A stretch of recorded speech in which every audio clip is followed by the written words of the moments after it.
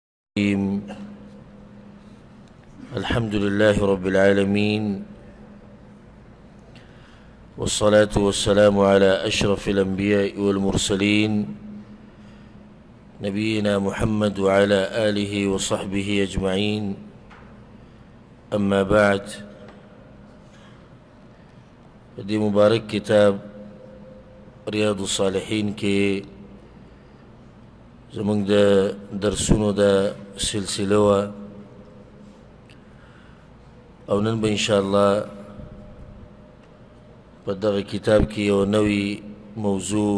شروع کوو د الله په توفیق سره امام نووي رحمه الله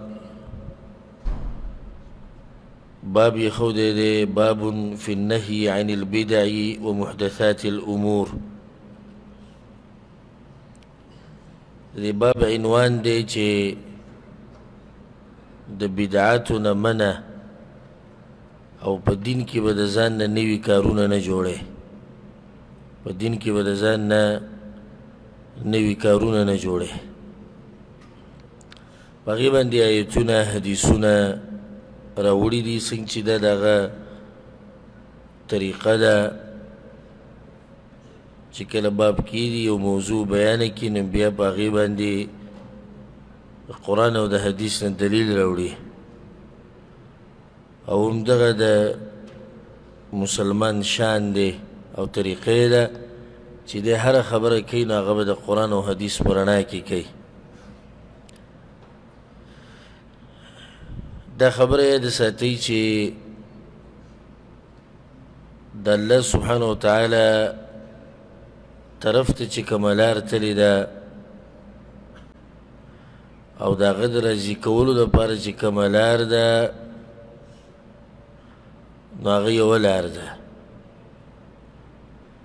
او هغه لار ده د رسول الله صلی الله علیه وسلم همدغه یو لار ته جنت ته رسوي بله لار نشته د قرآن او د حدیث لاره د پیغمبر لاره د هغه طریقه په دې سره به ته جنت ته رسې په دې باندې به ته د الله رضا حاصله او که ځان مړ کې په کوششونو محنتونو په عباداتو کې او لار دې بلی نو ته بیا هم نشي کامیابېدی لازم به ته د پیغمبر صلی الله علیه وسلم حدیثونو ته رجوع کې د هغه مدرسې ته به ورځې او مسلې به د هغه نه زده کې ځکه چې الله سبحانه وتعالی د دین د واضح کولو لپاره همدغه انسان را لېږلی دی نو چې الله را لېږلی دی هغه ته بیا رجوع کې او انشاءالله په دې باندې دلایل را روان دي هم په دې درس کې د پیغمبر صلی الله علیه وسلم به دې حرس ته وګوره الله خو ته دا خبره په قرآن کې کړې ده چې بلغ ما انزل الیک وان لم تفعل فما بلغت رسالته اے پیغمبر سچی تا ته زیم دا به خلکو ته ورسې نو پیغمبر دا امانت پوره پوره ادا کړي او څه کمی پکې نه دی پرېښودی او ځکه په حجة الوداع کې کوم حج چې رسول الله وسلم کړی او د ژوند په اخرنۍ حصه کې نو په هغې کې خطبې په دوران کې دا ویلي وی الا هل بلغت دې خلکو ته وی صحابه کرامو ته ما دین را رسولی دی که نه هغو ته یو ته را رسولی دی نو اسمان ته یې ګوته اوچته کړه وی اللهم فاشهد یا الله نو ته ګواه شه درې پیرې پیغمبر دا خبره کړې ده چې یا الله ته ګواه شه د دغه پیغمبر دې حرس ته وګوره چې داسې خیر نشته چې دې پیغمبر موږ ته نه ښوولی هر د خیر لارې موږ ته واضحه کړې ده او د شر لارې مو واضحه کړې دي لپاره چې موږ د شر نه ځان وساتو ځکه یو حدیث کې پیغمبر صلی الله علیه وسلم سوی وی تاسو ما په دسی لار باندې پرې خو دی په دسی دین باندې چې هغه روخانه ده رڼا ده غلار او داسې دین دی چې د هغې هغه شپه هم رڼا ده د شپې پکې تیاره نه د شپې پکې هم رڼا وي مطلب دا چې دا دین ښه واضح دی بله خبره دا ده چې پیغمبر د صحابه کرامو ته وویل ما دین را ورسو که نه هغه امانت چې کوم الله ما له راکړی و هغه مې پوره کړو که نه هغه ته ورته پوره کړو نو بیا دا خبره دینه واضح شو چې د دې پیغمبر نه بعد څوک په دې دین کې نوي کارونه راوباسي نو د ده مطلب دا دی ولیاذ بالله چې پیغمبر امانت پوره نه دی رسولی بعض مسلې ترې پاتې شوي او دغه خبره امام مالک رحمه الله کړې ده من ابتدع في الإسلام بدعة يراها حسنة فقد زعم أن محمدا صلى الله عليه وسلم خان الرسالة وي چا چې په اسلام کې نوی کار راوویستو او دا ورته ښه ښکارېدو نو اګر که دی په خوله باندې دا خبره نه کوي خو د دې کار نه دا ښکاري چې دی دا ویل غواړي چې پیغمبر صلی الله علیه وسلم خیانت کړی دی دین یې پوره نه را رسولی ځکه که دین یې پوره را رسولی وی نو دا مسله به هم بیان کړې وی کومه چې دې کس نه وي جوړه کړې او هغه نشتي په دین کې نو چې نشتی په دین کې نو بیا خو مطلب دا چې پیغمبر دا مسله پاتې شوې نه کړ نو یا خو پیغمبر دا مسله پټه کړې ده نه ده بیان کړې په دین کې وا نو دا خو بیا خیانت وکړو داسې کېدی نه شي نه د مؤمن عقیده کېدی نه شي او یا دا سړی په خطا دی کوم کار چې دی کوي دا د سره په دین کې شتي او دم دقه شان دم دقه شان چې دا سړی چې کم کار کوي په دین کې نو د دې څه اصل او بنیاد نشته دا مردود دی ولی امام مالک رحم الله دا خبره وکړه وی ځکه چې الله په قرآن کې وی په سورة المائده کې اليوم اکملت لکم دینکم واتممت علیکم نعمتی ورضيت لكم الاسلام دينا الله وی نن مستاسو دین پوره کو چې الله وی پوره کو نو یا بګي پاتې سنش ځکه امام مالک وی چې فما لم يكن يومئذ دينا فلن يكون اليوم دينا دا ډیر ناشناق قانون ګوره ذکر کړی دی امام مالک وی چې د پیغمبر او د صحابه کرامو په وخت کې یو خبره دین نشمارل کېدو نو نن به مغه دین نشمارل کی ځکه کدا دین وې دا غوي په وخت کې به وي کدا دین وې دا غوي په وخت کې به وي او په دې باندې ان شاء الله خه مثالونه هغه به تاسو په روان درس کې یا په روانو خبرو کې واورئ د دې نه مخکې چې دغه آیتونه او د حدیثونه شروع کو اول د بدعت په دې مطلب باندې ځان پوه کول غواړي البدعه دې ته په عربي کې بدعه وایي او موږ ته بدعت وایو په لغت کې دا مطلب دی چې یو دسی شی جوړول چې مخکې دسی نه جوړ شوی یو دسی شی جوړول چې مخکې نه جوړ شوی دې ته په عربي کې څه وایي بدعت او ځکه الله په قرآن کې د خپل ځان مبارک وي بدیع السماوات والارض الله غزاد ته چې ځمکه او اسمانونه اول پیر پیدا کړی دي بدیع ولې بدیع وي ځکه چې مخکې چاني دي پیدا کړي نو الله نوی کار کړی دی په بل ځای کې الله وایي ای پیغمبره ته دې مشرکینو ته ووایه قل ما کنت بدعا من الرسل دوی ته دا ووایه چې زه څه داسې پیغمبر خو نه یم چې اول پرې راځم مخکې نه یم مخکې یو پیغمبر نه راغلی نه مخکې هم زما په شان پیغمبران راغلي نو دی لغوي معنی شوه په لغت کې معنی دا شوه یو شی یو داسې کار کول یو داسې شی جوړول چې مخکې چا نه جوړ کړی یا مخکې چا دغه کار نه کړی دی ته بدعت وایي خو په شریعت کې بدعت څه ته وایي او دا خبره یاد ساتي تاسو له ډېره فایده درکړي یو دسی عبادت کول یا دسی وا یو دسی کار کول د عبادت په نیت باندې چې د غي په دین کې اصل نه اصل مطلب قرآن او حدیث کې نه دی تعریف ته او کله چې دا تعریف تاسو یاد کړئ نو ډېری مسلې به ستاسو په ذهن کې هغه واضح شي په دسی طریقه باندې عبادت کول باز علماوی بدعت مطلب ده په دسی طریقه عبادت کول چې نه پیغمبر کړي او نه خلفای راشدینو کړي اوس ګوره دا ډیر خلک مونږ باندې اعتراض کوي وی تاسو دا بدعت بدعت کوي او تا چې دا کم ټوکې په سر باندې اچولی دی ولې دا پیغمبر اچولی ته چې سپیکر کې بیان کې درس کې د تم بدعت کو ته چې ګاډي کې کینی به تم بدعت کو دا د جاهلانو خلکو جاهلانه اعتراضات دي او جواب په دې کې وګر کړي جواب لایق نه دي جواب په دې کې چې دا بس عوام چې ووري او دا خبره مو صحیح ده هر خبره صحیح ده موږ د بدعت په تعریف کې وی یو نوې کار کول د عبادت په نیت باندې سی شي د عبادت په نیت باندې نو ته چې راګړې چلې د عبادت په نیت چلې د عرب چې په سر باندې ټوکی اچي او د علما کرامو یو نه ختم جوړ شوی دا د خو د عبادت په نیت نه اچي چې دا عبادت ته پیغمبر ویلي ها کومه ورځ چې د دا ووی چې دا کار عبادت دی نو بیا ویرانی سو بیا به ته چې عبادت ته ورته اوس به دلیل خیر قرآن او حدیث ته که دې ثابت کړه قرآن او حدیث به صحیح ده که ثابت نه کړه بس بیا د ستره کار بدعت شو نو دا فائدې نه ساتي بدعت په دوه قسمه دی یو بدعت په عاداتو کې او بل بدعت په عباداتو کې عاداتو کې دي سي لکه یو دسی شی جوړول چې مخکې نه یو دسی سهولیت پیدا کول چې په خانو خلکو ته نه دا خو عادت دي د کې بدعت کوي خبره نه مخکې سپیکرې نه وي دا سهولیات نه د دین د بیانو لپاره وشتي څوک به سوچ دا بدعت دي د چې نور سهولیات مخکې نه وشتي بدعت په عباداتو کې منلی په څه کې منلی عباداتو کې او په دې باندې دلیل شتي په صحیح بخاری صحیح مسلم کې د حدیث ته ان شاء الله روان موږ په درس کې امام نووي رحم الله امر وړي من احدث فی امرنا چا چې نوې کار راوستو زمونږ په دې دین کې یعنی د دیندارۍ په نیت کې دا بدعت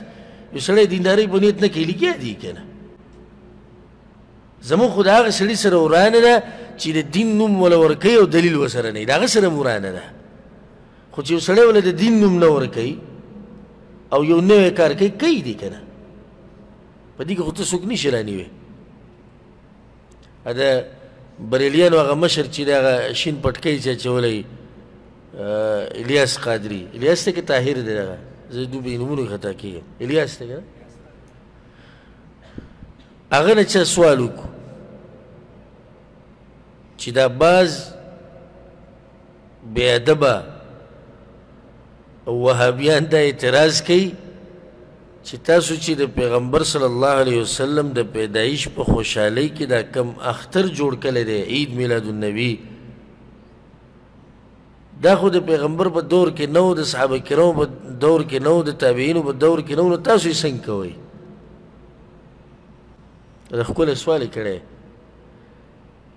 نو دی ولا جواب څه ورکوي او موږ به خپله اورېدلی دی او مې لیدلی دغه پروګرام وایي د صحابه کرامو په دور کې بریاني وه چې ته خورې دا خېټې سره کار وي د هغه په دور کې مثال هم به بریاني ورکړو وایي د هغه په دور کې بریاني وه چې ته خورې د هغه په دور کې پنکې وي چې ستا جومات کې لګېدلي د هغه په دور کې رخام و چې ستا په جومات کې لګېدلي او خلکو سبحان بس نور له څه جواب ورکړي دا وابیان یو الله یې پوه کولی شي نور څوک نه شي پوه کولی هغه ورته ښه واضح ووي چې بریاني وه په وخت کې سم دلیل یې ورکړو زمونږ زارش نه شي په دلایلو باندې قرآن او حدیث پیش کوه پیش کوه دې په اخر کې یاره پوه پرې نه شو تا څه ووي پته نشته او هغه وی پیغمبر په وخت کې بریانی و ته بس ته نور څه دلیل وته وخی نور وی دې په سبا باندې پوک نو دته چې ته مخامخ دغه ځکه چې کوم نه شي ټول دغه مریدان دي کې دې نشي چې وی دې د خلاف غږو کې دا دومره ادب کوي د خپل مشرانو دا بس بدتیان او دا پکې ښه صفت دی دومره ادب یې کوي چې د استاد یې نه وي که نه هم د ده خلاف د خولې نه ټکی نه شي ویستی یېرېږي ځکه ډېر با علم به وینې خو بې ادبه به وي علم ورسره وي خو ادب ورسره نه وي او ډېر با ادب به وینې خو بې علمي مشکل دی نو دا خلک د دې مشرانو ډېر څخه ادب کوي تر دې چې غلو یې پکې هم کړی دی چې هغه ناروا ده هغه غلو شریعت ته حد پورې خو صحیح ده خو مخکې غلو ناروا ده نو دې ته به چا پلار ووایي په دغه ځای کې چې دا خو د عبادت په نیت موږ بریاني نه ده خوړلې چېرته ته چې بریاني خوري درته ویل پکار ته چې بریاني خوري په دې نیت خوري چې الله پرې له اجر راکړي او ثوابونه پرې ګټم جنت ته پرې ننوځم وي نه نو چې نه نو بیا خو بریاني خورا که بل څه نه خوراک درته معلوم هغه به کوم جوړ کړه خورا خو کله چې د پیغمبر د پیدایش په ورځ باندې ته خوشحالي مناوهې او په جماعت کې ناسې او ناتونه او نظمونه وې نو د عبادت په نیت کې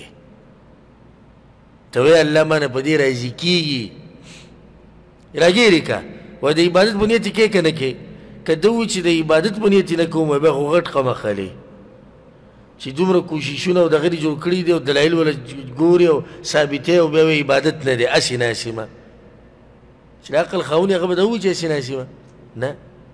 نو دویم جواب د سره دی چې د عبادت ته خاص عبادت ته وسی ثابت کړي د قران او د حدیث نه یره قران او حدیث کې خو نشته خو دا چې بد کار هم نه دی چې قران او حدیث کې نشي به دی غلی شي امام مالک رحم الله قول تیر شو کنه چې کومه خبره په هغه وخت کې دین نه و هغه نن هم دین نه دی په هغه وخت کې د عید میلاد النبي نه و نن هم نشته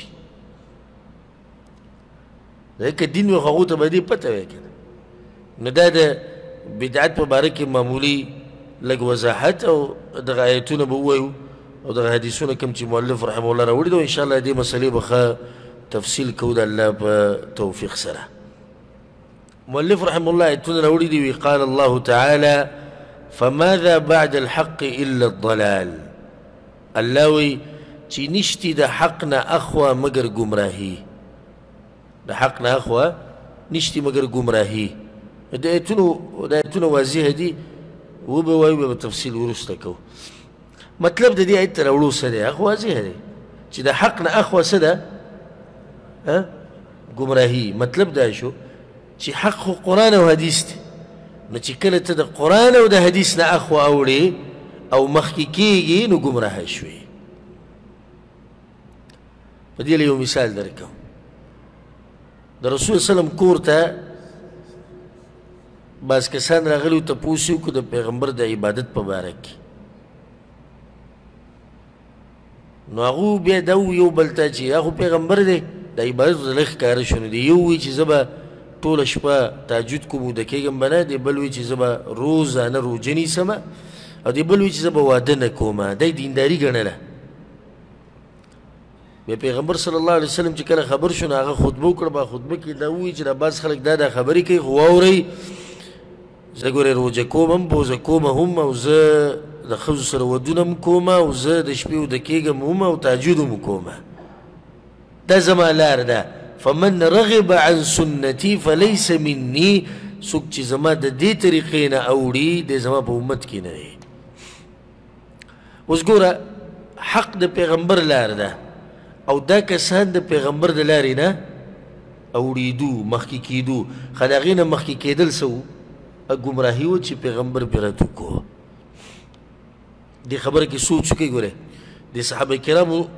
نه چې کوم راغلي وو تپوس له د یو وي زه به روزانه روژه نیسم روزانه روژه نیول ګناه ده ها خو خیر یې کو کنه نن سبا چې موږ چاته ووایو ته چې دا زر پیرې پلانې ذکر وې د بدعت دی اله کوي د الله د ذکر نه دی دا خلک منع کوي وي هغه لګیا دی الله یادې دی او ته ووایي نه دا طریقه نشته نو دې صحابه کرامو چې د روجې نه ووي دا چې ووي چې زه به روزانه روجې نیسم دی یې ووي ولې د الله سره دښمني کوله ها دښمني خو نه کوله خو دومره ده چې دا طریقې د پیغمبر د طریقې خلاف وه دی بل چی وی چی زه به هر شپ ټوله شپه تهجد کوم ولی ده د الله سره دشمنی کوله سه ها نه خو طریقه خلاف وه دی بل چی وی چی زه به د خو سره واده نه کوم خو د دینداری په نیت وی کنه چی د شهوت من الله د دین نه وانړی بل آیت پر راوړی دی ما فرطنا فی الكتاب من شیء الله وی دسی یو خبره نشتی په دې کتاب کې چې موږ پرې خو دی داسې خبره نشته چې هغه موږ په دې کتاب کې نه بیان کړي دا اوس د چا خبره ها ولي غلي د چا خبره د الله خبره الله وی ما د دین یو خبره هم نه ده پرې خو بازوی وي او دین کې بعض مسلې پاتې شوي امامانو باندې د الله رحم وکړي هغوی رالو هغوی واضح کړ خو الله خو وایي ما یو مسله هم نه ده پرېښودې اوس الله رښتیا وایي که ته رښتیا وایې الله وی ما یوه مسله هم نه ده پرېښودې، واضح کړې مې ده، دین مې بلکل واضح کړی دی، وینه ډېرې مسلې په کې مولیانو بیان کړي، نو بیا یې راټینګ کړه، وایي راځه دې خوا، مولیانو دین واضح کړی، او دا صحیح خبره چې واضح کړی، خو اوس ما ته دا ووایه چې دې عالمانو، دې علماو په دین کې یوه مسله وه د هغې وضاحت یې کړی دی، که نه په دین کې نوي مسله جوړه کړې د هغې وضاحت یې کړی؟ دی بډې قمقل یې کدي سی وي چې په دین کې نه یو مسله جوړه کړي ځکه دا خو سره هیڅوک نه مني که دی وي نو بیا ورته وایي چې ستا د عقل ته زموږ سلام دی وځه خپل کار کوه ځکه ته خو په خپله وایي چې دین کې نه یو مسلې جوړې کړي او جاخه دې بیا جوړه کړه او که وی چې نه مطلب زما دا دی چې په دین کې مسله وه خو د علما وله ډېر وضاحت وکړو عوام یې پرې ښه پوه کړو وایي دا خو صحیح ده خو موږ هم منو خو د ځان نه خو یې نوي نه ده جوړه کړې خو تا وایه په خپله ووایي چې په دین کې دا مسله وه ډېر کسان راپاسي قرآن او حدیث کې میخه شتي زه وایه صحیح ده جدلا فرض کا ستا سره د دې خبرو دپاره لږ وخت دپاره موږ دا ومنله چې قرآن او حدیث کې د میخې مسله نشتي څه وخت دپاره وه ته مې پوه که چا بیان کړې ده وی دا فقه کې راغلی ده ښه صحیح ده فقه چا بیان کړې ده علماو بیان کړې ده تی علماو د امام ابو حنیفه رحم الله په مذهب باندې بیان کړې ده صحیح ده امام ابو حنیفه رحم الله مسله کم ځای بیان کړې ده اوس دې راګیر شو که دی ووي چې امام ابو حنیفه د ځان نه میخي ته حلال ویلي دي نو بیا خو دې په امام صاحب باندې ډېر غټ غټه مسله دې پرې راواړوله ګورې هغې نه ښه دې پسا وکړو چې یو شی الله او د الله پیغمبر ورته حلال نه دي ویلي امام صاحب ورته ځان نه حلال وایي داسې ده که نه ده نو دی به لازم تاله دویم جواب درکوي هغه دا دی چې امام صاحب د کوم ځای نه دا مسله راویستې ده قرآن او حدیث نه نو خبره بیا واپس قرآن او حدیث ته بوتله او اته وی چې قران او حدیث کې د میخه تذکره نشته او په خپل دی چې امام صاحب د قران او د حدیث نه د میخه مسله راويسته ده نو چې هغه راويسته نو مطلب چې قران او حدیث کې دا مسله شته کنه دا غینه باندې بل آیت راوړی فإن تنازعتم في شيء فردوه إلى الله والرسول کچرته تاسو په یو خبره کې وران شي اختلافات پیدا شي نو رجوع کوي چاته الله او رسول ته رجوع کوي الله ته یعنی د الله کتاب ته رجوع کوي رسول ته په ژوند کې چې هغه ژوندی نو ته رجوع که او چې مړ شو نو څه ته رجوع که د هغه حدیثونو ته رجوع که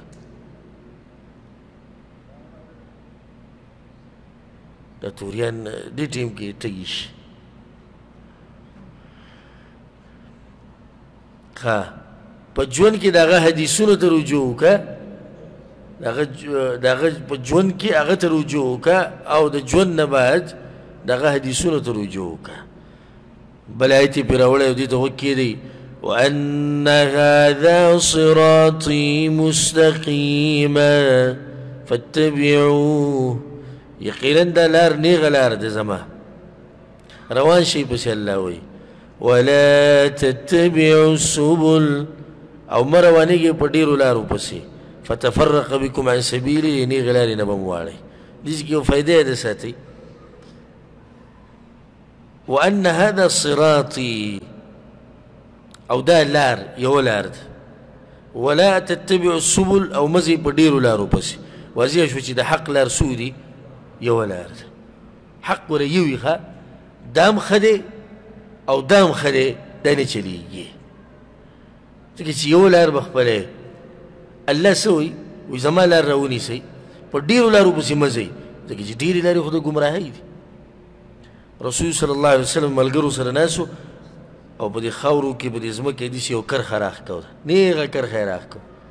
وایي دا لار د الله لار ده ډایرکټ جنت ته رسوي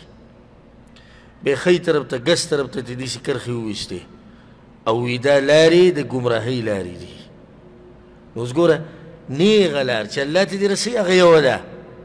د دې لاري نه چې معمولی خو دې خوشوي نو د گمراهي په لار به رواني کی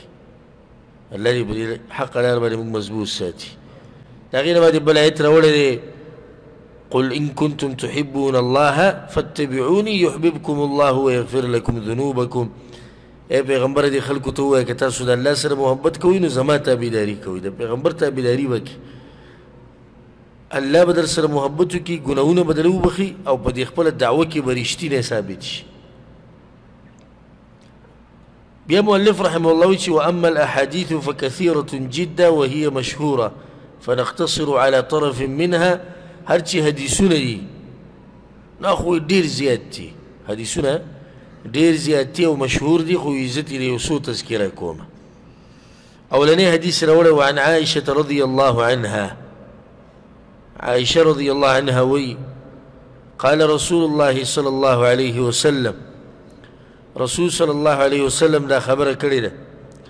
من احدث فی امرنا هذا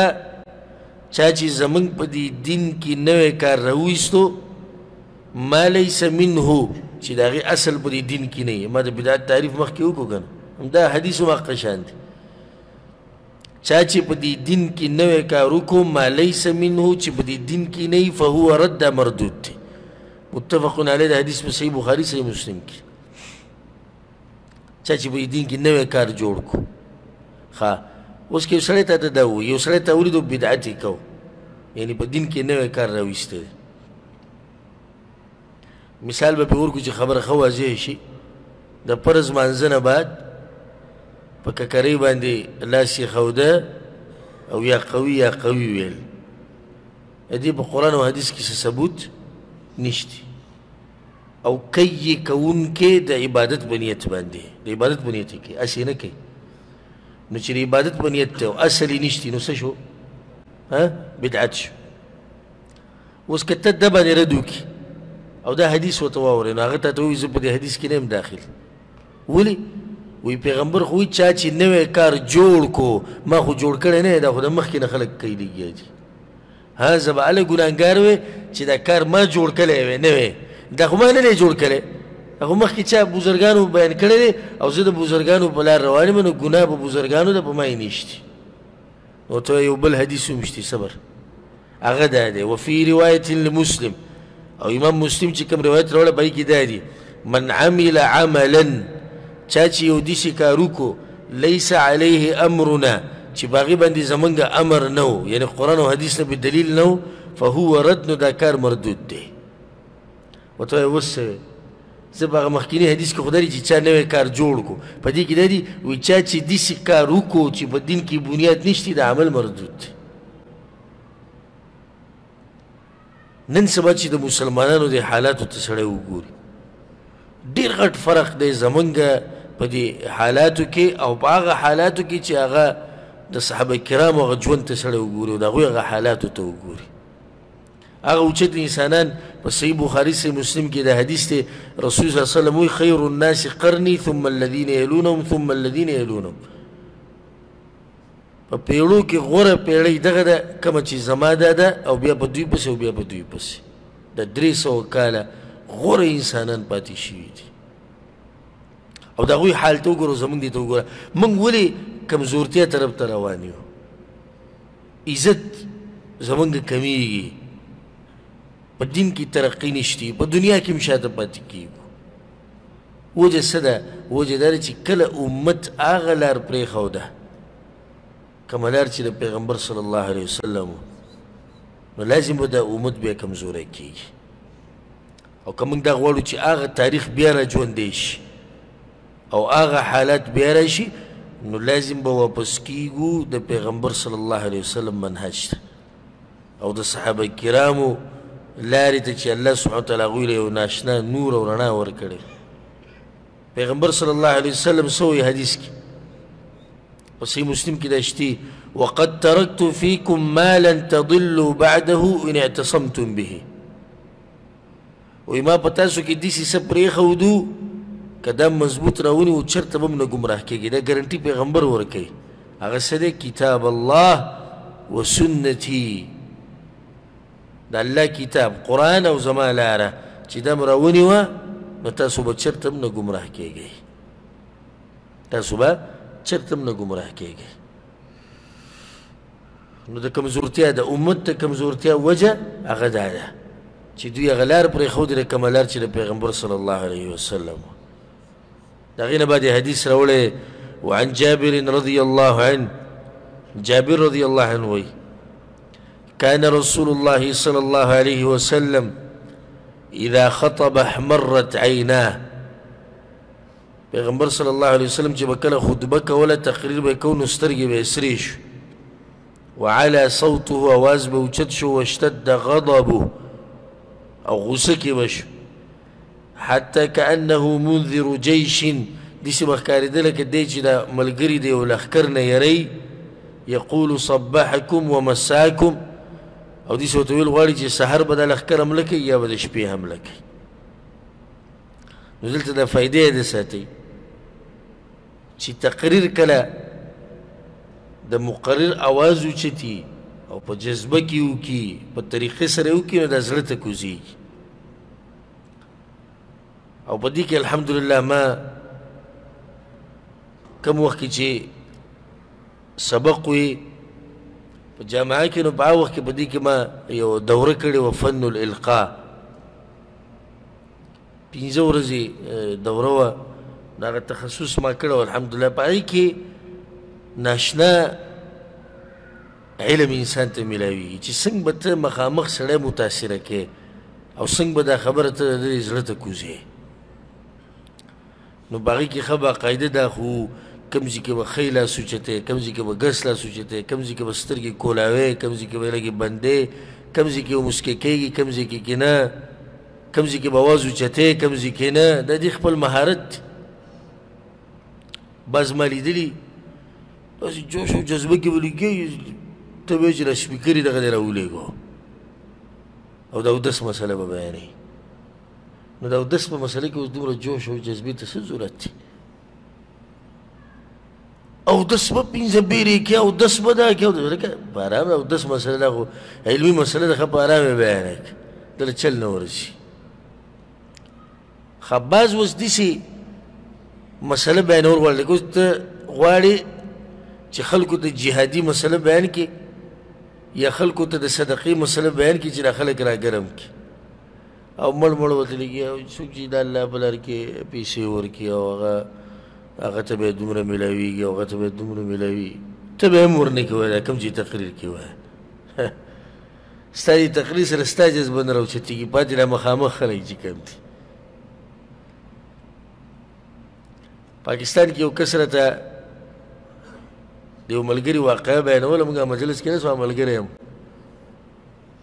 وی د جمعه ته ورغه الته تقریر وکړو د دې لپاره چې جمعه جوړې دو چا به مرسته نه کوله نو دی ولا راوستو ته خلکو ته لږ ترغیب ورکړي دا هغه ملګری ډېر جوش او جذبه کې لګي او ډېر په طریقه لګي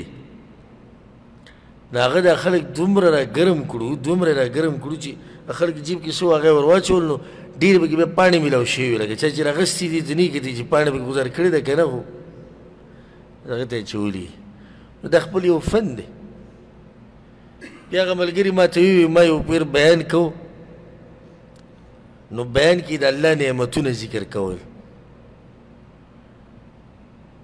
نو مو ګوري چې الله نعمتونو ته دا مې یو د الله دی قدرت ته نو وګوري دی ام ته اوس د ام څومره ناشنا نعمت ته وي ما د مرګرو ته مې دا خبره کوله او دا چې ته سپین کې د دې نه را پټ لري کې او د دې د یخې اوبه د یخ جوس د ستا په دې سینه او په دې زړه دې لاړ شي څومره خوند کوي نو په ډېر ناشنا طریقې سره بیان وکړو نو بیا به هغه هغه بیان کې یو کس نه شو زوی ورسره راغلی وړوکی نه هغه هغه درس کې په ژړا شوي ما له هم وي چې کله بیان ختم شو بیا پلار یې په ما پسې راوستو وي ما ته وي چې دله اوس هم پیدا کړه ورځې د امونو نه دي او تا دومره صفت یې وکړو چې اوس دی ښه ته د وي ما له هم نو د خبرې د بیانولو هم طریقې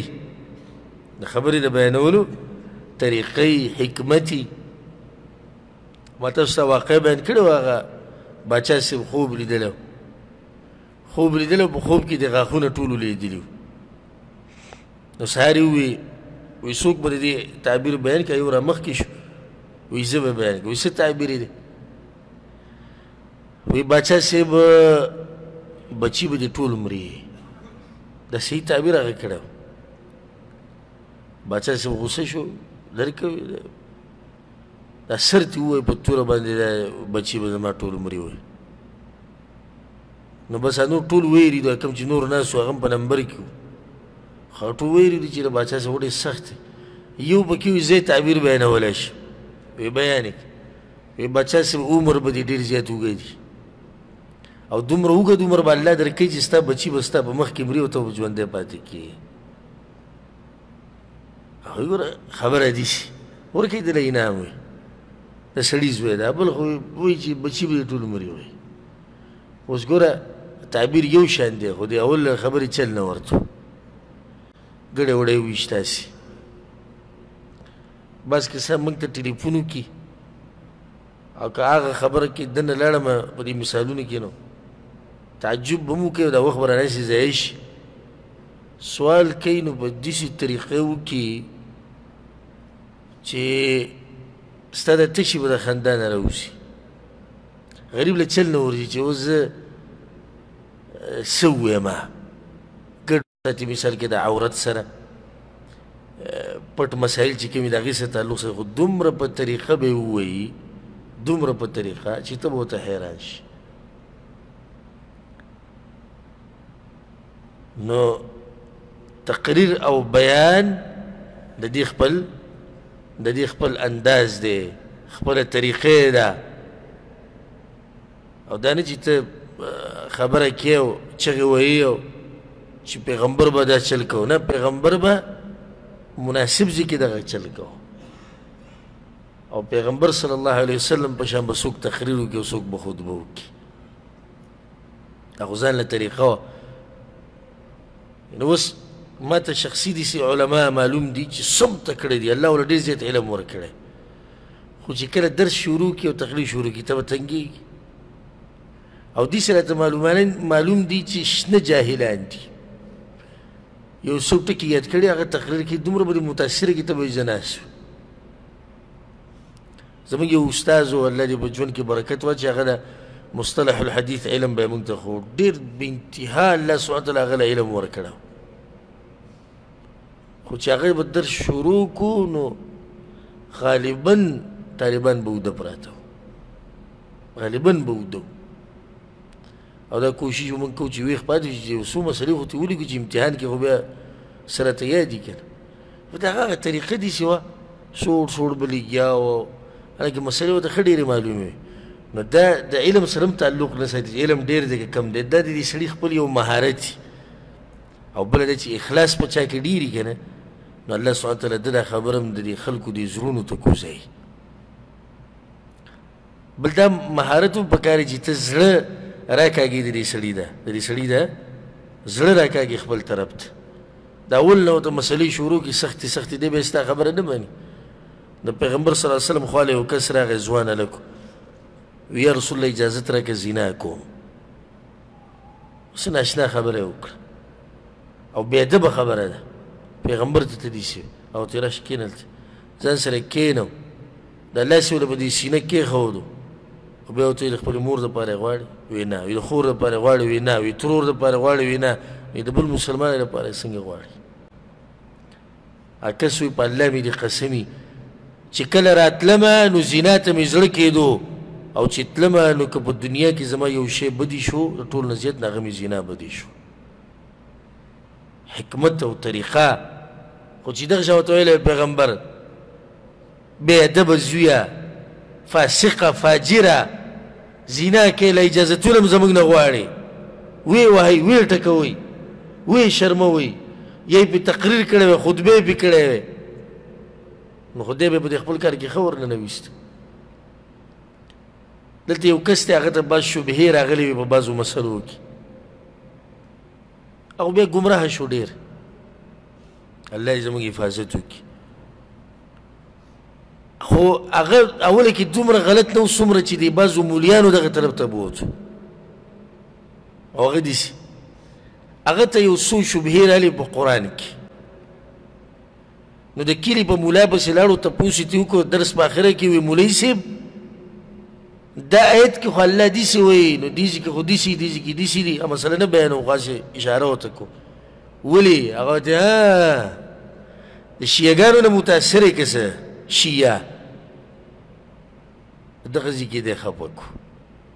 ستا دې سره څه کار دی چا نه متاثر دی که نه دی تر دغه خبرې جواب ورکړه کمې چې دنه غوښتلی سوال خدیج نرورو مسله شروع شو شروع شو شروع شو شروع شو یو مولا بل ته پلانې پلانې پلانې پلانې ته پوسته لاسه هغه هم په ضد کې راغی دغه شبهې به نورې هم کتې نو بیا د اختر په منځ کې د اختر په منځ کې دا خبره کوي په خپل ماته دا کول وی د اختر منزل لاړم او ګیره دغه کس خغټه ګیره دا دا ویختې غوړ کلیو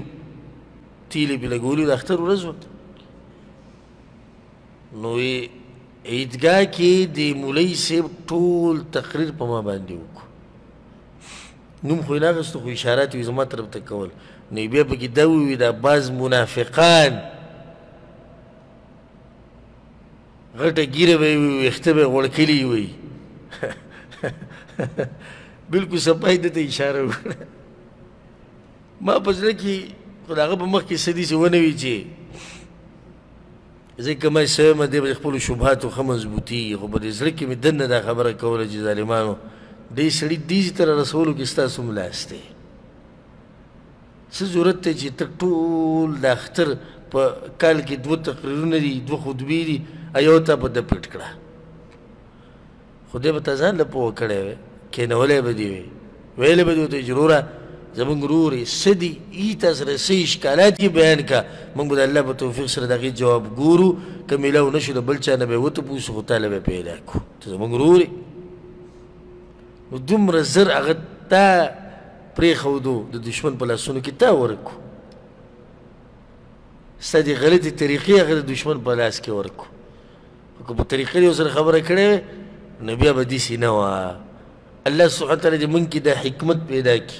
او الله سبحانه وتعالی موږ له توفیق راکړي د دین د واضح کولو په داسې طریقې سره لکه څنګه چې شریعت زموږ نه غواړي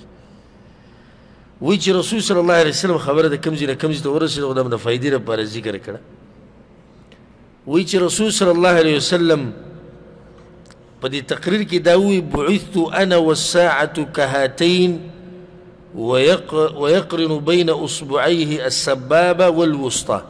رسول صلی الله علیه وسلم او قیامت دي شرغلی ولکه د دوه ګوتې چې یو ځای دي تشهد دا ګوته او دا منځنۍ ګوت مطلب دا دی چې څنګه چې دې دوه ګوتو په منځ کې فاصله نشته نو د پیغمبر او د قیامت په منځ کې هم فاصله نشته او د قیامت ډیر علامات دي اولنۍ نخه د قیامت هغه د پیغمبر صلی الله علیه وسلم راتله دي ځکه چې د اخري پیغمبر د نبات بل نشته د نبات قیامت دی بیا رسول سلام دا وی اما بعد فإن خير الحديث كتاب الله غره خبري هغه د الله دا کتاب دی وخير الهدي هدي محمد صلى الله عليه وسلم او غره لار په لارو کې د چا لار ده د پیغمبر صلی الله علیه وسلم لار ده وشر الامور محدثاتها او په کارونو کې ډیر شر والا کار هغه نوي کارونه دي چې په دین کې کی وکل بدعه ضلاله او هر بدعت څه دی ګمراهی ده هر نوې کار بدعت ته او هر بدعت ګمراهی ده بعضې روایتونو کې راځي او هر ګمراهی په جهنم کې ده د حدیث دې لپاره راوړی په دې کې یو مسله یاد ساتئ وی هر بدعت ګمراهی ده بعض خلک وی وی بدعت بعض بدعتونه ښه بدعتونه بعض څه دي خه بدعتونه پیغمبر سوی وی هر بدعت گمراهی ده په بدعت کې او د شر په کار کې خی ها نه خه بدعت او بد بد بدعت ته تقسیم کول د بشریت کې نشته وكل بدعة ضلالة هر بدعت گمراهی ده نجوی د خیر په نیت کوي څه په نیت کوي د خیر په نیت موږ دا کې د خیر په نیت کې د شر په نیت کې خو چې د دین په نیت کې او دلیل به نه د بدعت دی بیا رسول صلی الله علیه وسلم وی انا اولا بكل مؤمن من نفسه زه په هر مؤمن باندې داغه د داغه د ځان نزیات حق لرم یای مطلب دا دی چې زه په هر مؤمن باندې داغه نزیات زه به مینه ما بیا یې دا ووې، من ترک مالا فلأهله، که چا نه مال پاتې شوی نو د هغه د وارثانو لپاره دی، ومن ترک دینا او ضیاعا، او که چا باندې قرض پاتې شوی او مړ شوی او د چا یتیمانان پاتې شوي او کونډې دې پاتې شوي فإلی و علی نو دغه زما ذمواري ده قرضه به ولم زه ورکوم او د دې بچو کفالت به ولم زه کوم رواه مسلم دا حدیث امام مسلم رحم الله راوړی اصل خو دا حدیث دې لپاره راوړی چې د بدعت دا ګمراهي ده دې ځکه به دا فایده چې د مسلمانانو مشرانو له داسې منهج خپلول پکار دي په چا باندې قرضه ده موږ به ورسره ودرېږو د چا نه یتیمانان پاتې شوي دي موږ به له کفالت وکړو او که ستا وس رسي نو هم په ځان کې دا صفت پیدا کړه الله سبحانه وتعالى موږ له توفیق راکړي په دې طریقه باندې د عمل کولو دې ځکه یو اهمه مسله یاد ساتي هر عمل چې ته کې او دا غواړي چې د شریعت مطابق نو بای کې بشپګو خبرو ته ګوري سو خبرو ته شپګو ته او تا د ماسخوتن دا مونځ وکړو کنه زه چې د کومې خبرې ذکر کوم دا شپږ بیا په دغه کې وګوره نو چې د پیغمبر په لار دی او کنه تا ته واضح شي چې بدعت دی او کنه تا ته پته ولګي اشپږ خبرې سبب او جنس او قدر دغه اندازه او کیفیت او زمانه او زی او تفصیل یې ته کوم خو به پوښ اولنې اولنې خبره وبګی دا ګوري چې د کوم سبب د لاسه ته دا کار کړی دی چې دا سبب په شریعت کې راغلی دی او که نه مثال دله درک یو سړی دی چې کلم کور ته ننوځي نو دوه رکعته مونځ کوي دین دین جوړ کړي چې کلم کور ته ننوځي نو څه کوي ها دوه رکعته مونځ کوي وای دا دوه رکعته ولي کې وای ځکه چې کور ته راننوتم دی سبب دی ایا د دې سبب د لاسه شریعت موږ ته دوه رکعته لمونځ ښوولی نه دی ښوولی نو د دې سبب صحیح نه شو عملي بدعت شو نو ته به دې سبب ته ګورې ته ولیکې د سبب په شریعت کې شتي او شتي چې شتي به صحیح ده کوی یو سړی دی اودس یې وکړو د اودس نه بعد یې دوه رکعته وکړو په مخه د دغه عادت دی لکه ولې تر اودسه به دوه رکاته کې وایي ځکه چې اودس مې وکړو اوس به ګورو په شریعت کې دا شته چې ته اودس کې بیا پسې دوه رکاته کوه شتي د دې عمل څه شو د صحیح دی دویمه خبره جنس د دې عمل ته به ګوري چې دا څه شی دی شریعت چې کوم جنس خولی د هغې کې راځي او که نه مثال بېله درکړم یو سړی دی قرباني وکړه په اس باندې د قرباني کې ولې نه کېږي دغه جنس د اس د شریعت خولی چې به دې قرباني وکړي نه شریعت ته ته خولی بهیمة الانعام بیزې ګړې غوا اوښ دا جنس ته ته خولی نو چې کله تا هغه جنس بدل کو نو کار دې څه شو هغه مو وران شو دریم مثالونه به زیات دي خو زه به یو یو مثال ذکر کوم دریمه خبره دا چې د عمل به موافقي د شریعت په دغه عادت کې او په اندازه کې او په قدر کې څنګه لکه اوس یو سړی دی او دس کوي او هر اندام سلور پیری ینځي سم خیال ها ولې نه صحیح ده عمل ځکه چې شریعت د عدد د اندازه نه ده ښوولې ښه یو سړی دی ماسخوتن لمونځ یې پنځه رکاته وکړو ها تاسو څه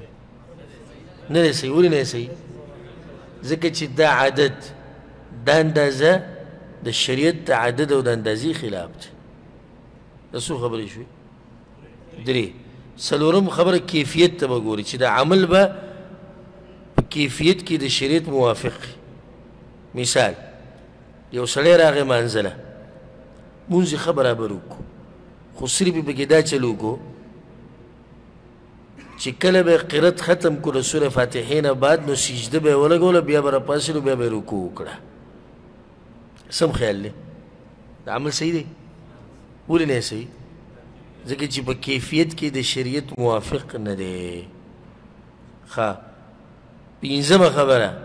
چې د عمل به موافق د شریعت سره په زمانه کې په وخت کې مثال یو سړی دی د اختر قرباني د غټ اختر قرباني د اختر د منځنه مخکې وکړه خو به نه کېږي ولې نه کېږي ځکه چې دا وخت شریعت نه دی ښوولی شپږمه خبره چې دا عمل به موافق د شریعت سره په غزي کې که شریعت ځای ښودی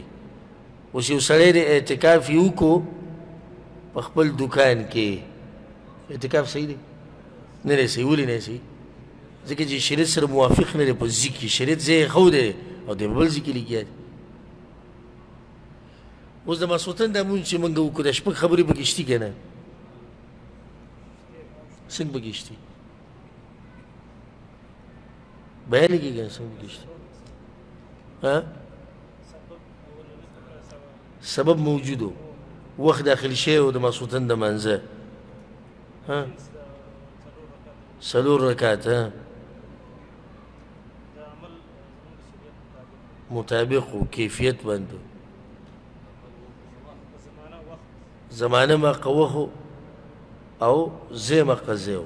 کوم چې شریعت خولای د دې وضاحت لپاره به ډیر مثالونه خو ان شاء الله په دې باندې به په دې به اکتفا وکړو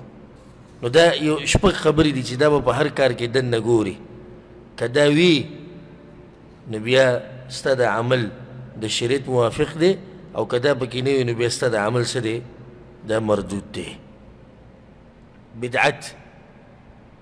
صحابه کرامو تابعینو د دین امامانو ټولو دا نصیحت کړی دی چې ځان به د بدعت نه لرې ساتي یو څو اقوال درته پیش کوم د دې مشرانو حذیفه بن الیمان رضی الله عنه وایي او دې ته غوږ کښېږدي كل عبادة لم يتعبدها اصحاب النبي صلى الله عليه وسلم هر عبادت چې صحابه کرامو نه کړي نو تاسو به هم نه کوئ هر عبادت چې صحابه کرامو نه کړي تاسو به هم نه کوئ عبد الله بن مسعود رضی الله عنه اتبعوا ولا تبتدعوا تابعداري کوي د دین د مشرانو او د ځان نه نوي کارونه مجوړوي ښه زه درته یو ناشنا واقعه بیان کړم د عبدالله بن مسعود رضی الله عنه عبدالله بن مسعود رضی الله عنه په باره کې راځي امام دارمي په خپل سننو کې دا روایت راوړی چې ابو موسی اشعري رضی الله عنه یو ورځ راغی په عبدالله بن مسعود پسې ورته وی یا ابا عبد الرحمن إني رأيت في المسجد آنفا أمرا أنكرته هغه ته ما په جماعت کې یو کار ولید خو ناشنا کار دی خو دومره نه چې د خیر په نیت کړی خلکو هغه ته څه کار دی وی ویني وی ته به خپل ویني کار دا دی چې په جماعت کې می خلک ولیدو چې هغه د حلقو په شکل کې ناشته دایرو په شکل کې ينتظرون الصلاه انتظار کوي د سره د مانزه فی کل حلقة رجل، په هره حلقه کې، دایره کې، یو کس په منځ کې ناست دی چې دی مشر دی او د دې ټولو سره په لاس کې کاڼي دي او سل پیرې الله اکبر وایي، سل پیرې لا اله الا الله وایي، سل پیرې سبحان الله وایي. عبدالله بن مسعود ورته ته ورته څه ووې وایي ما ورته څه ونه وې ستا انتظار مې کوو چې ته څه وې وی تا به ورته ویلی وی چې په دې کاڼو باندې ګناهونه شمارئ که څه کوئ تا به ورته څه ویلی وی چې په دې کاڼو باندې ګناهونه شمارئ او که نه وی بیا ما سره لاړو دغه جومات ته چې لاړو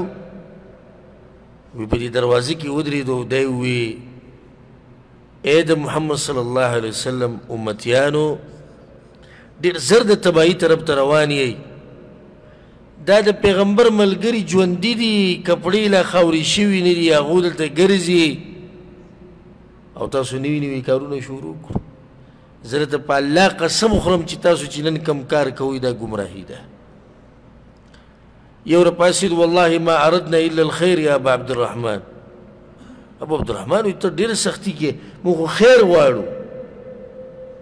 موږ سندري خو نه وایو زنا خو نه کوو شراب خو نه سکو د الله په کور کې راجمع شوي مانځه ته ټیم شتي تسبیح تکبیر تحمید دا پکې وایو ناشنا خبر عبد الله بن مسعود وکړه وکم من مرید للخير لن يصيبه لا لم يصبه وی ډیر د خیر غوښتون کی خیر ته نه راشي اوس که چرته د عبد الله بن مسعود رد کو په دوی باندې نه کېدی چې عبد الله بن مسعود په دې خبره باندې څوک رد نشي کولای دي لاسي صحابي وو خو که چرته موت دا کار وکړي یو جومات ته ورننوځو او په هغې کې د صوفیه ناسي د الله هو الله هو چې کوي دا ټول بدعات او خرافات دي دا په شریعت کې نشته الله هو الله هو الله هو هو هو او لګي او ما پرې رد وکړو یا تا پرې رد وکړو چې الله بنده کنه تاسو څه کوئ نو تا به چې په دنیا کې سر راپاسي چې هغه څه کوپر خو نه دی کړی خو الله یادوي داسې به وایي که نه به وایي همدغه شان درته وایي نو بیا ولم دخل عبدالله بن مسعود د جواب په شان جواب ورکړه وای الله به یادی خو په دې طریقه به یادی په کومه طریقه چې پیغمبر یاد کړي په کومه طریقه چې صحابه کرامو یاد کړي دا نشنا واقعا عبد الله بن مسعود ځان سره یاد ساتي خاده سعید ابن المسیب رحمه الله فقيه انسان د صحابه کرامو نه بعد هغه دا دی یو سړی ولیدو په منځ کې سحر مونځ کړو جمعات کې دی ناسو نو د دې سړي نه د سهار هغه دوه رکعته پاتې شي او سنت چې کوم دي د منځ نه به د سنت کول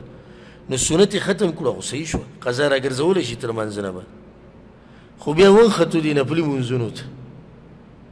او نور لا نه دی راختلی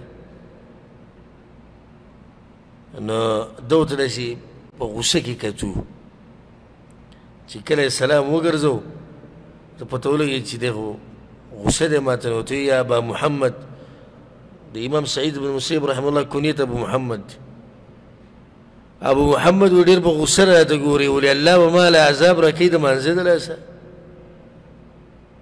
د مانځه د لاسه به مې الله جهنم ته بوځي اشنا خبره یې وکړه زه خو یې دا مونځونه ډېر کوم نو ستا څه خیال دی په غصه راته ګوري چې دې مونځونو د لاسه به جهنم ته ځم هغه لاشته جواب ورکوي نه نه د منځه د لاسه به الله ته جهنم ته نه بوځي الله چې ته جهنم ته بوځي علا خلاف السنه په دې به دې بوځي چې د پیغمبر طریقه دې پرې ښودې او نوي دې جوړه کړې ده په دې به دې بوځي جهنم ته په دې دې نه بوځي چې ته موږ ډېر وکړو ناشنا جواب ویل ورکو نه دا موږ ته کسان ویلې هم دغه شان راته وي خلک د د الله دی یادولو ته څه ګناهګار شو خلک دې کار د لاسه ګناه شو نه وروره د دې د لاسه نه ګناهګار شي ګناهګار شوی د دې د لاسه چې طریقه دې د پیغمبر پرې خو دي او بیا هم دغه سلف صالحین او دین دې مشرانو سخت منع کړی چې د بدعتي انسان سره به بالکل نه کینی ولې ځکه چې د په انسان باندې اثر کوي کله چې ته یو کس ویني چې په دین کې نوي کارونه کوي نو له دې نه به ځان لرې ساتي د سره به سبق نه وي د سره به علم نه کوي دا بعض راشي ما پسې موږ به یو ځکه د عالم سره ترجمه کوو صرف ته ترجمه وایو نور موږ ته پته لري چې بدعتي دی وایي خو صرف ته څه وایو ترجمه ته وایو غلطه ولا نه منو نو ته په غلطه پوهېږې څه چې ته ولا غلطه نه منې ته په غلطه پوهېږي او دویمه ده استاد لازم په شاګرد باندې اثر کوي لازم په اثر کوي او که نور هیڅ اثر د باندې ونه کیږي نه خو دا اثر به د باندې وکړي که چېرته د استاد غلط کار کو نو رد به پې نه کوي د استاذۍ د لاسه زړه کې به دی چې استاد مې پاتې شوی دی نو خوله دې بنده شوه باطل دی پټ کړو حق ته ښکاره نه کړو دې ته راځي چې استاد دې پاتې شي بدعتیانو سره به سبق نه وي ځکه امام فضیل بن عیاض رحمه الله څه وایي څه ناشنا منهجو د سلف صالحینو چې هغه اکثر مسلمانانو نه هغه ورک شوی و اذا رأیت مبتدعا فی طریق وی کچرته بدعتي دی ولید په لار را روان دي ستا مخې لر روان دي تم روان هم را روان دي فخذ في طريق آخر نو تلار بدل کو بل لار باندې سه په لار کې ولم مخې لمزه ولي فقد اعان على هدم الدين واذا سړی لګیا دی د الله دین نړۍ د الله دین وي تباه کو لار ته بدل کوي چې د الله د دین قدر نه کوي منګ هم قدر نه کوي ځکه ابو قلاب رحمه الله وی وی د دوی سره مکه نه د دې بدعتیانو سره مور سره مناظره کوي ولی ځکه چې کې دي شي د خپل گمراهی د تخیستخ کار کې نزله ته بری کوزش یو کس راغلو بدعتي په ایوب السختیانی رحمه الله پس وتوی یا ابا بکر اسالک عن کلمه وی دی خبرې ته پوسته نه کومه جمعات کې ناس هغه ته لاس دي سکو زوی ته پوسونه او پوسونه نشتی هغه وی کلمه د یو ټکی ته پوس کومه هغه ته ولا نصف کلمه د نیم ټکی ته پوس هم نه کوي بي دي زو زو دي دغه شان امام ابن سیرین رحمه الله خواته دوه کسان رالو بدعتیانو په دین کې به نوي کارونه کول ورته یې ویې په یو مسله کې د سره خبرې کوو هغوی خبرې به نه کوي ما سره وي قرآني آیتونه راته اورو وایي نه به یې اوروئ لاړو دواړه ووتو چا ورته ویې ناشنا کار دی که نه خو آیتونه اورول قرآن خو زموږ د ټولو دی وي دوی د آیتونه چې اورول نو په هغې پسې به بیا څه خبره هم کوله نو په ځان یریدم دي سنه چې دا خبره چې ته خېسته کی د گمراهۍ ده نو په ما به اثر وکړي د نن سبا د فیسبوک دا دور دی نه د هر مولا تقریر ما اوري آیت وی وی آیت آیت چې وی دغه شان پرې خو دو ها دغه شان خو پرې نه خو دو کنه د آیت په وضاحت کې خو بسوي کنه نو د ځان نه وبکې خبرې وکړي دی دا مطلب دی دی دا مطلب دی دی دا مطلب دی ګمراه یې کړي ګوره دغه علماو د غټو غټو امامانو ځان ساتو د بدعتیانو نه نو عوام خو به ځان ساتي په طریقه اولا سره د بدعتیانو نه ځان لرې ساتي بیا دا خبره یاد ساتي چې بدعتي انسان کافر دی او که نه نو جواب، بدعت په دوه قسمه دی، یو هغه بدعت ته چې انسان کافر کوي او دویم هغه بدعت ته چې انسان نه کافر کوي. مثال پرې درکړم خبره به واضح شي. یو سړی دی قبر ته سجده لګوي غیر الله ته چغې وایي دا بدعت دی که نه دی؟ بدعت دی ځکه چې دی د عبادت په نیت کوي او په دین کې څه اصل نشته خو دا کار د ده کفر دی نو د دې بدعت ته لس انسان کافر کیږي دویم بدعت هغه بدعت دی چې کافر کوي نه مثال مړی وشو په یو کور کې او خلک یې راجمع کړو او هر یو له یوه یوه سپاره ورکړه او دیګونه یې باندې کړي دي او ختم یې وکړو په دې طریقې سره د عبادت په نیت وکړو خو د پیغمبر نه ثابت نه دي د صحابه کرامو نه ثابت نه دي قرآن کې اصل نشتی بدعت یو خو آیا دې دلاسه کافر کی نه کافر کی غټه فتوا چې په ولګې دې دلاسه بدعتي شو ګناهګار شو خو کافر کیږي نه ښه د بدعتي سړي سره به څه معاملات ساتي که دا بدعتي په هغه بدعت کې واقع چې هغې دلاسه انسان کافر کیږي نو بیا خو به سره تعلقات بلکل ختمه تعلقات به سره ختمه ها د دعوت کوشش وکړي دویم هغه بدعتي دی چې هغه په داسې بدعت کې واقع دی چې کافر کیږي ترې نه نو بیا به ګوري که د ده سره په بایکاټ کولو کې خیري نو بایکاټ ورسره وکړه مثال ستا یو ملګری دی هغه دغه صوفیانه چې کوم ذکر اذکار دي دغه کوي دې دله څه کافر کی نه کافر کی تا د ده سره بایکاټ وکړو چې ده ته احساس وشي چې زما دا خوږ ملګری زما نه خفه شو نو دی به د خپل کار پرېږدي عبرت به واخلې دی نه نو صحیح ده ښه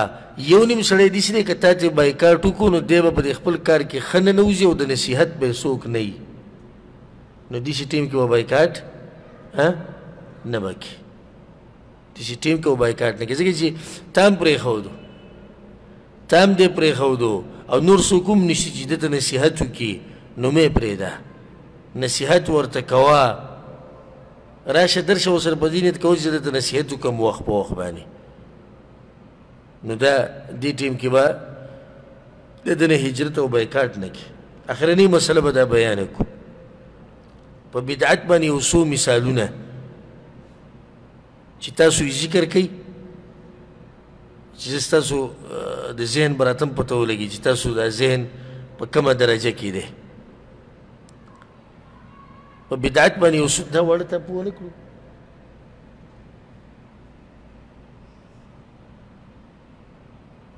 په بدعت باندې اوسو مثالونه ها شروع وتنو په تسبو باندې ذکر کول ضروري په تسبو باندې ذکر کول دا غ سړی د پاره چې ذهن خبره بري یریږي تنه او د تسبیح عبادت غني ها پرز منځنه بعد په ککری باندې لاس یې خودي یا قوي یا قوي ویل بدعت دی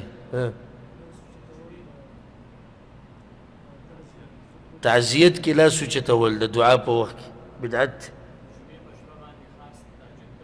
د جمعې په شپه باندې خاص تاجد کول یا رانجه لګول یا د جمعې په ورځ خاص روزه نیوه خر سر خرول د عبادت په نیت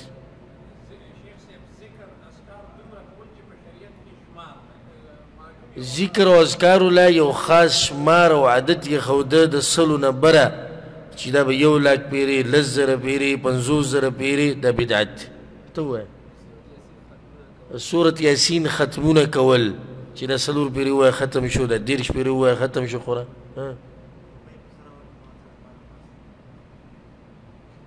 نه ها د جمع په منځ پسې په جمع باندې دعا کول مخبره کې چې کله مړې خخ کې نو سر ته د سوره بقره اولنې حصہ او خپوت اخرنې حصہ ویل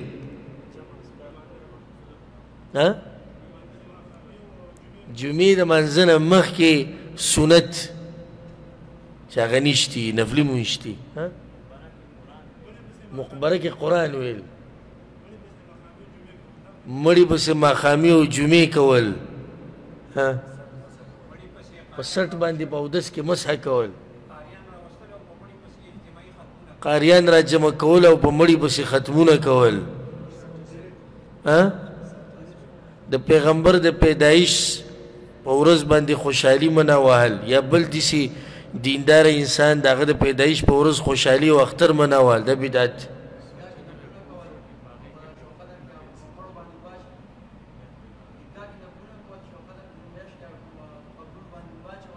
شو قدر په میاشت کې چې دی نو په قبرونو باندې اوبه اچول او دغه قبرونو له تله خاص ورځو کې دا بدعت دی تاسو کورونو کې خیراتونه کول او دروازې کولاوي ساتل دي د پاره چې مړی راځي دی کور ته دا بدعت او خرافات دي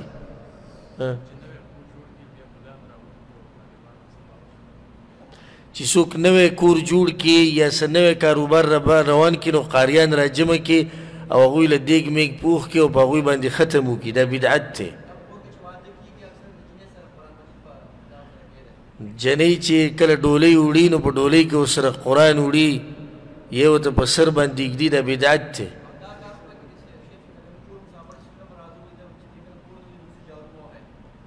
چې مسافر وځي یو سړی مسافر شي د کور نه وځي او بیا په کور کې به جارو نه وي دا بدعت او خرافات دي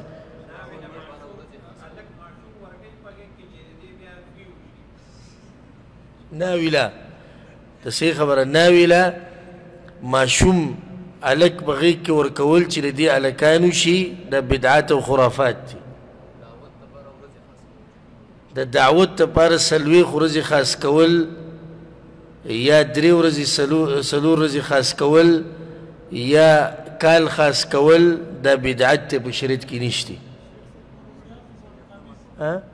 مړی پسې څلوېښتمه کول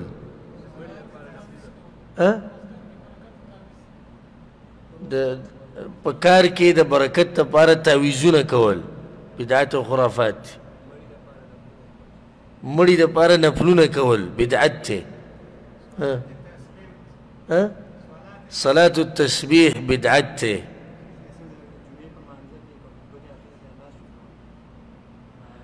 د جمعې د ډېر خولي خبره راځي د کړه د جمعې په ورځ چې خطبه کیږي د خطبې په دوران کې چې کله امام دعا غواړي د غسر لاس اوچتول دا بدعت ته الا دا که د دعا د باران غوښتو د پاره کین به ثابت دي ها جمعات کې ټوپۍ خوده د ټوپۍ د مسلې سره سیر ته به کوزه کې چې مستحب طریقه دا ادب دی ټوپۍ په سرول باندې کې د جمعې په ورځ د جمعې د مانځه د خطبې نه مخکې ځان له تقریر جوړول چې دا په پښتو ژبه کې دی او بیا خطبه په عربۍ کې ده دا بدعت دی بس په ناسته باندې بغیر د عذر نه جمعې خطبه کول ناروا دي سنت وشو درې ورځې د تعزیت لپاره خاص کول چې لاسنیوه به درې ورځې د دې نه کم او زیاته نه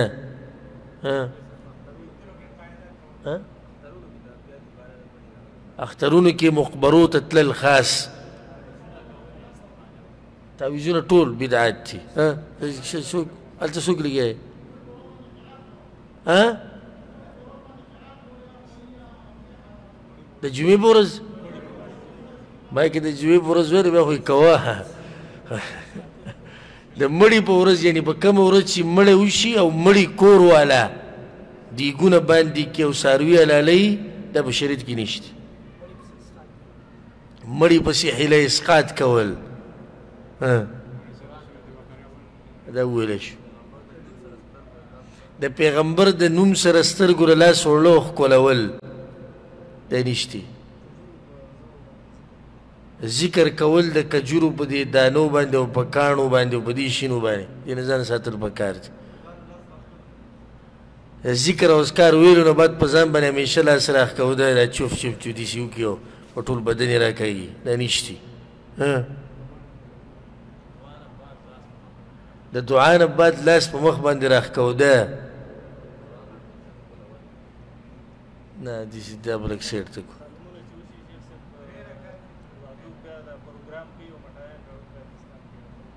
نه نه دا وشوه پر لمانځه نه بعد اجتماعي دعا دا وشو نور څه بدعت نه معلوم ته اوسته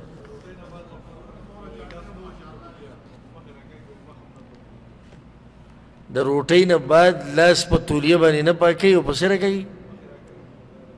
د دې سره مخ کوتونه به ګوینه راځي ده دا ګن بلا چې بتل پاس راکاږي په دې کې بس کوتو نه راشي هغه اکم چې چې کوت راشي هغه ډکې کنه دا دا د ځان نه جوړی شي خبرې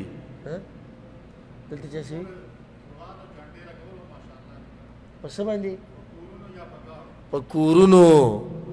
توري چیرلې توري جنډې ګاډو ته توري چیرلې اچول ماشاءالله سبحان الله لا اله الا الله الله محمد یا یا الله یا محمد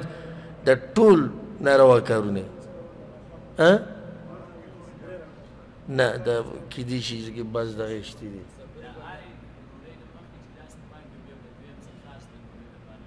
د روټۍ د پاره خاص لاس انزل او لاس پاکي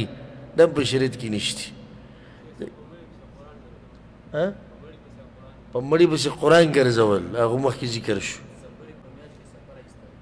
سفر په میاش کې سفر وستل ځان نه کارونه بس د شویل چې غوړه کار نه دی خو نه داسې ووایي چې له ځان نه جوړه شوې خبره خو زه بدعت وایم چې بدعت په دې به اکتفا وکړو انشاءالله او نورې مسلې ډېرې دي خو په دې باندې به اکتفا وکړو د عامه یو خبر پکې دایت ساتي چې له صوفي چې څومره اسکار دي د چې د ګډا سره یې کوي او که د کرنټ سره یې کوي او که سر وی روي او که وګي وی روي او که هر څه کوي دا ټول د الف نه د یا پورې بدعات او خرافات دي د بشریت کې نشته په طواف کې د هر چکر د پر ځان له دعا خاص کول د بدعت ته ها او دس په وخت کې هر اندام د پاره خپل ذکر ویل د بدعت ته